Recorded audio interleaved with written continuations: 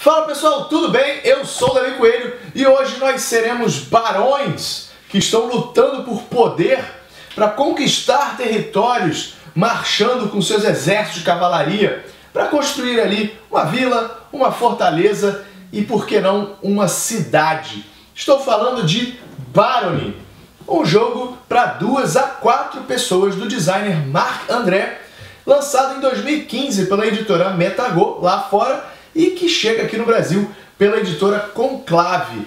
Esse vídeo é um apoio da loja Dungeon Board Games, que mandou aqui esse exemplar do Barony pra gente para gravar esse vídeo. Então acessa lá www.dungeonbg.com.br que eles têm vários jogos à venda, inclusive o Barony. Dá a chegada lá na loja deles para ver o catálogo que tem bastante jogo legal.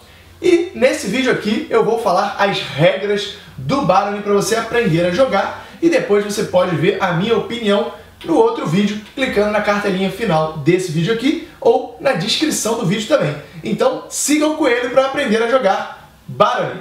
Pegue nove peças de terreno aleatórios por número de jogadores na partida e posicione aleatoriamente na mesa formando o tabuleiro do jogo. Crie uma reserva com as fichas de recursos.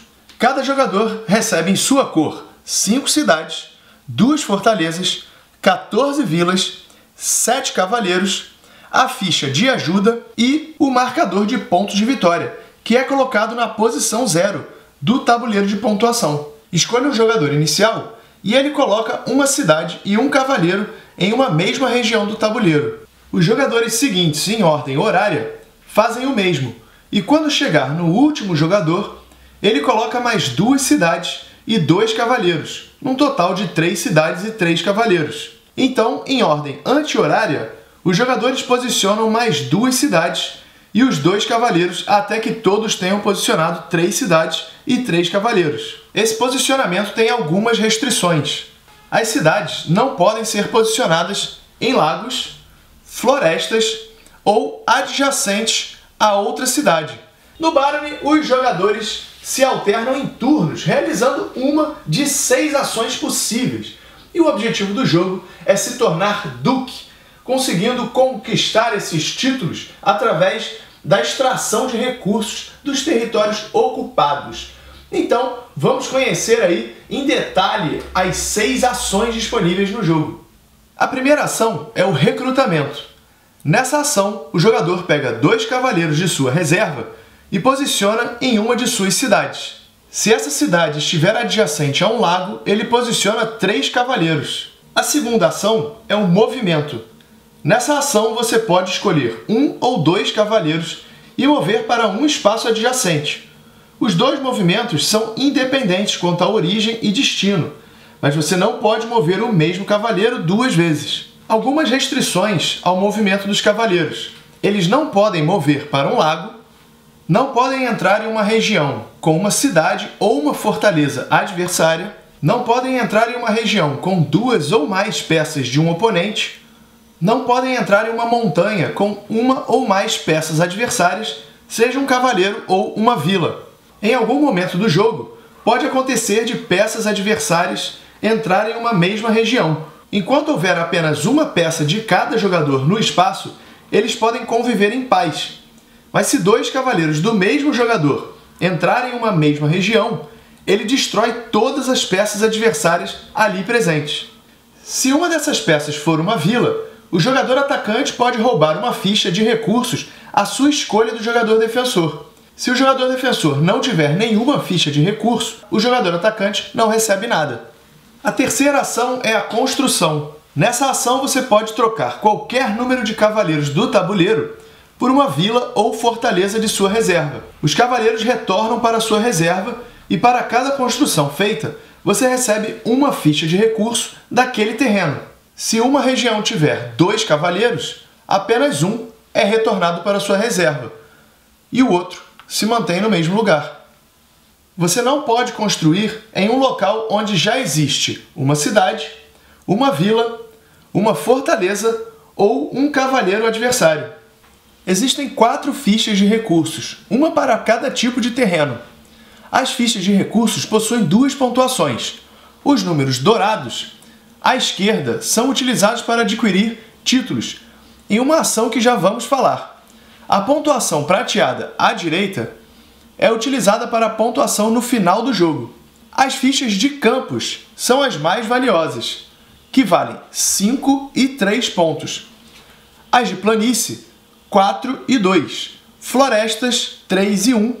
E as montanhas são as menos valiosas, com 2 e 0 pontos. A quarta ação é a nova cidade. Nessa ação, você pode trocar uma vila por uma cidade de sua reserva.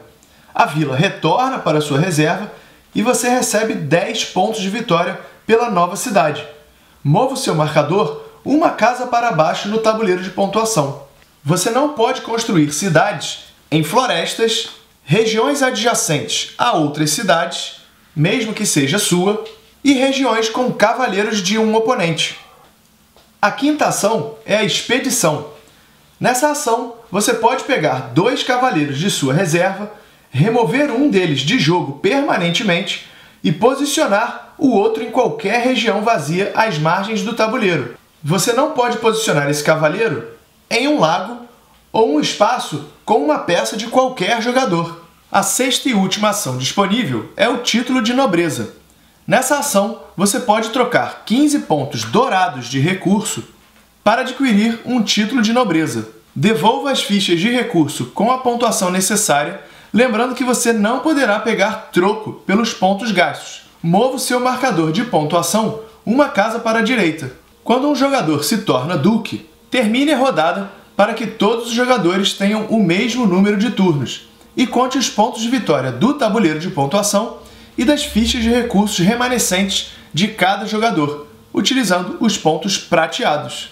O vencedor da partida será, adivinhe, o jogador com maior número de pontos de vitória, que pode inclusive ser o jogador que não é o Duque. Então repare para você não terminar a partida e perder a partida. Se mais de um jogador ficar empatado, o desempate é a favor do jogador que está mais próximo do jogador inicial, em ordem horária, claro. Então, ó, essas foram as regras do Barony.